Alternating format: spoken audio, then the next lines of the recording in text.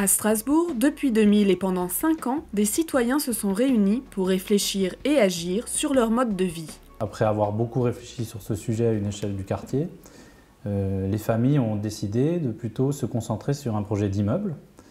Et à partir de 2005, on peut dire que euh, les familles qui vivent ici aujourd'hui euh, ont travaillé collectivement pour rédiger un cahier des charges, un programme en fait architectural de leur projet, et ensuite recruter un architecte et collectivement euh, monter l'ensemble du projet, devenir promoteur finalement du, projet. Donc autopromoteur. L'autopromotion consiste à faire le travail d'un promoteur immobilier, à savoir trouver un terrain, concevoir un immeuble avec un architecte et financer le projet. Le collectif de citoyens strasbourgeois s'est donc substitué au rôle du promoteur. Leurs exigences environnementales et sociales alimentant la complexité du dossier, car si des modèles allemands existaient, ils ne sont pas transposables tels quels du fait de la législation française. Outre l'aspect convivial, une des exigences des co-gérants était que cet immeuble soit à la fois écologique et certifié basse consommation. Un soin particulier a donc été apporté au choix des matériaux. Un des éléments innovants de cet immeuble, c'est qu'il est entièrement construit en bois, sauf un sous-bassement euh, donc, qui est en béton. Ensuite, euh, l'ensemble des étages, euh, à la fois les murs et les dalles, sont constitués euh, de bois brut, collé, donc ce système de, contre-collé. Plus de 200 tonnes de bois qui a été utilisé pour le gros œuvre de l'immeuble, ce qui constitue un rapport très important entre les matériaux inertes et qui consomment beaucoup d'énergie à produire comme le béton et donc ce matériau bois. L'isolation est constituée de laine de bois insufflée, le chauffage au sol, au gaz, est complété de 20 mètres carrés de panneaux solaires qui couvrent également environ 60% de la consommation d'eau chaude sanitaire. Ce qui représente pour une famille dans un appartement euh, là, de 90 mètres carrés à peu près 300 euros de chauffage par an. La question énergétique a été couplée à une réflexion sur la mobilité. En effet, l'immeuble se situe à la croisée de deux lignes de tramway. Et donc, euh, beaucoup de personnes ont pris un engagement très fort sur la réduction des déplacements en voiture, puisque sur 11 logements, il n'y a que 6 voitures. Donc je pense que ce qui a été pas facile au début pour, pour ce groupe, c'était de, de, décliner les envies écologiques et de les amener dans un projet collectif. Parce que juste vouloir un bâtiment BBC, ça ne fait pas un projet de, vie collective. Et après, promoteur immobilier, c'est un métier complexe, et donc les difficultés aussi, c'était la charge de travail que ça représente. En 2010, l'immeuble est enfin livré. La première à s'y être installée, c'est Claire. Claire, qui portait en elle ce projet depuis de nombreuses années, semble heureuse de voir ce rêve accompli. Avant, c'était vraiment euh, chacun pour soi, et puis on allait voir les amis, on s'invitait, mais c'était toujours quelque chose de prévu. Tandis qu'ici, euh, quand on sort de chez soi, si on a le goût et si on a le temps, on peut discuter euh, sur les coursives, on peut aller jardiner à plusieurs, on peut se retrouver à la buanderie, faire une lessive ensemble.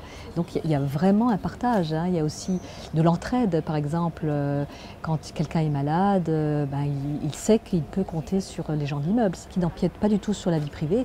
Et c'est vraiment ça qui est agréable, parce que euh, nous sommes chacun chez soi, dans notre appartement. Et donc l'architecte, euh, après avoir euh, pris les surfaces des uns et des autres, et les demandes de rez-de-chaussée avec un petit jardin, ou d'être au dernier étage, ou d'accepter d'être au milieu, compose l'immeuble. Alors dans le cas d'écologie, l'architecte a choisi de mettre les deux duplex l'un sur l'autre, qui était une des demandes qu'on trouve sur l'aile à l'est, et à l'ouest, il a euh, empilé, on peut dire ça comme ça, les trois euh, logements qui faisaient à peu près 100 mètres carrés, euh, entre 95 et 100 mètres carrés, qui sont trois familles, selon un plan relativement proche.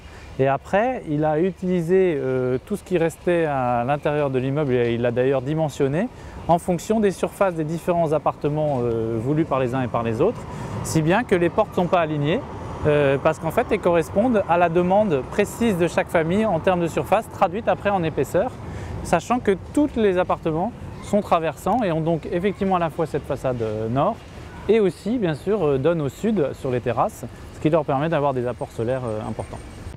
Et financièrement parlant, quel a été l'investissement nécessaire? Le prix au mètre carré, finalement, au bout du projet, aujourd'hui, on sait qu'il est de 2990 euros du mètre carré, à peu près 3000 euros du mètre carré. Donc pour avoir un appartement de 100 mètres carrés, il fallait pouvoir payer 300 000 euros. Souvent, les gens nous disent c'est assez cher. C'est dans les prix du marché d'une certaine façon, c'est-à-dire qu'un logement neuf, construit en 2009 comme nous on l'a fait, c'était effectivement de cet ordre-là. Simplement, l'immeuble comporte beaucoup d'aspects un peu originaux, à la fois parce qu'il est très performant sur les aspects environnementaux et aussi qu'il a beaucoup d'espaces communs. Hein, et donc ça, ça a une incidence financière assez forte. Car une des particularités de l'immeuble est qu'il comporte des lieux communs. Une salle polyvalente équipée d'un coin cuisine, une chambre d'amis de 10 mètres carrés, une buanderie, un atelier de bricolage et un parc à vélo. Enfin, un jardin entoure l'immeuble pour la joie des enfants et des adultes. Les restes de framboisiers, on les met au jardin partagé, est-ce que vous êtes d'accord ou est-ce que vous avez une autre idée? Les fraisiers d'ailleurs. Framboisiers. Ensuite fraisiers, on les met en dessous. il n'y a plus de place pour les framboisiers. Afin de gérer au mieux les espaces communs, les habitants doivent s'organiser. On a vite compris qu'il fallait se répartir le travail. Donc, on utilise assez euh, volontiers ce terme de commission, même si c'est un caractère très informel, mais donc qui consiste à déléguer à deux, trois personnes, deux, trois familles, la réflexion sur un sujet euh, qu'elles vont débroussailler, euh, soit que ce soit des recherches de matériaux, soit des recherches de contacts d'entreprises. et après, lors des réunions qu'on tient encore mensuellement, la commission restitue le fruit de son travail et puis une décision est prise par le groupe sur les bases de, ce travail en commission. Ce jour-là était un peu exceptionnel. Des travaux collectifs suivis d'un repas commun étaient organisés. Je sers déjà de la soupe aux orties. Mais contrairement aux idées reçues, les habitants d'écologie ne vivent pas en communauté. On ne constitue pas une grande famille. Hein. On, est dans un voisinage bienveillant, euh, donc on s'appelle par nos prénoms, on se connaît, on sent assez bien euh, ce qui se passe dans chaque famille. Mais c'est vrai qu'on essaye quand même de respecter l'intimité de chacun euh, et, aussi d'éviter euh, peut-être le phénomène du commérage ou du on dit les uns sur les autres. Et c'est une espèce d'entourage élargi comme ça qui peut prendre soin de vous, qui peut vous interpeller parfois sur certaines choses qui se passent dans votre vie et qui en tout cas est là, pas loin, en permanence. Et donc il y a une notion de solidarité qui est très forte aussi dans un groupe comme ça. Les anémones du Japon et puis des trucs à propos. Est-ce qu'on les transplante cet après-midi, par exemple, dans ce coin-là Ce qui est important, c'est qu'on ait une certaine ouverture les uns aux autres, qu'on partage des valeurs, des valeurs de respect, euh, de, de, respect aussi bien de l'autre que de soi-même, que du, du, lieu où on est. Euh, et euh, ça implique quand même d'avoir le goût des échanges et d'avoir une certaine indulgence aussi les uns et les autres pour nos propres difficultés momentanées, pour nos mouvements d'humeur, etc. Aujourd'hui, l'immeuble comprend 33 habitants de 3 à 62 ans, répartis dans 11 logements de 25 à 150 mètres carrés. Deux appartements sont loués. Et c'est intéressant d'ailleurs cette euh, mixité-là parce que euh, c'est des gens qui arrivent plus tard dans le projet, qui réinterrogent un peu aussi des choses qui sont convenues, qui sont presque évidentes pour tout le monde. Et puis ils amènent du sang neuf, de l'énergie nouvelle, euh, d'autres idées, d'autres savoir-faire. Avant j'habitais à Königshofen, donc chez mes parents. Et euh, la différence, c'est qu'on se parle comme, comme, à des amis ici, alors que là-bas, ben, c'était plus euh, un rapport de voisins où on essaye de déranger le moins possible et de respecter le plus possible sans trop se parler. Et bon, c'est pas forcément comme ça que je, voyais, je, vois les choses. Quoi. Préserver un coin de nature en ville est un pari gagné pour les habitants d'écologie. Un espace qui permet également de se ressourcer.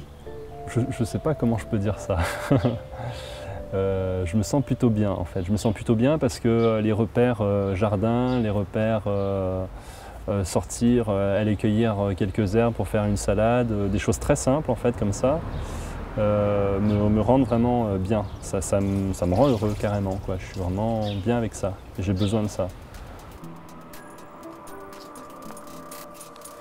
Après des années de concertation, de recherche, d'efforts, d'attentes prolongées, les habitants d'écologie semblent aujourd'hui épanouis. Au-delà d'une aventure collective, cette expérimentation pourrait préfigurer d'un mode de vie à venir. Tributaires d'une moindre dépendance énergétique, nos habitudes devront évoluer. Volontaires et enjoués, les habitants d'écologie sont un bel exemple d'une transition possible.